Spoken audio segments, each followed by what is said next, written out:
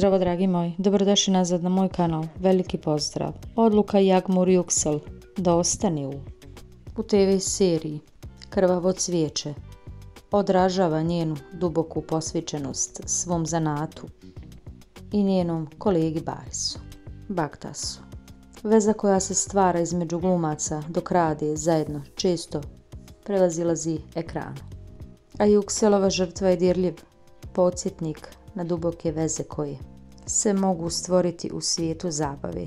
Izbor Jagmur Juksel da dobije privlačnu i odbije privlačnu.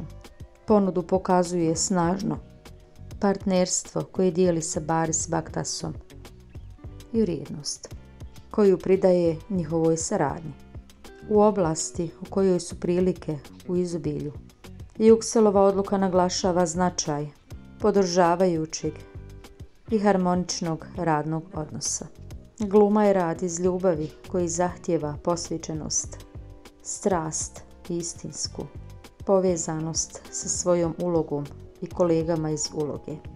Žrtvovanje Jagmur Juksela ilustruje njenu posvećenost, svom zanatu i njenu želju da u potpunosti doprinesi narativu krvavom cvijeću.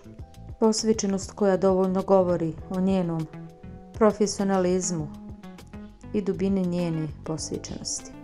Veliki pozdrav!